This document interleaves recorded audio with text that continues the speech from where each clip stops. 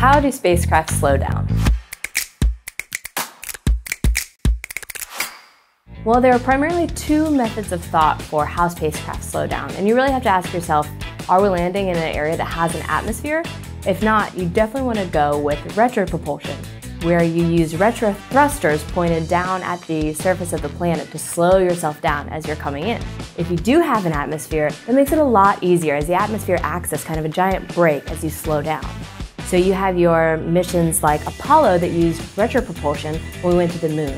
When you're able to use the atmosphere, you have your heat shield on the blunt end of your spacecraft coming into the atmosphere, and then the parachutes will come out and slow you down the rest of the way to provide that safe landing. Here at NASA, we're constantly developing new technologies to help with that entry, descent, and landing, or EDL. Some of the trick in entering atmosphere is when you do have it, but it's really thin. One of the technologies NASA is developing to handle those is called HIAD, Hypersonic Inflatable Aerodynamic Decelerator. The HIAD can come as a heat shield much like the blunt body heat shields of those older missions that were made out of ceramics or metals and were very hard. However, HIAD is a flexible woven system that compacts really, really small. So you're able to actually get a very small heat shield inside your rocket diameter. With HIAD, when the fairing comes off, the heat shield can then inflate and expand to a diameter much larger than your rocket.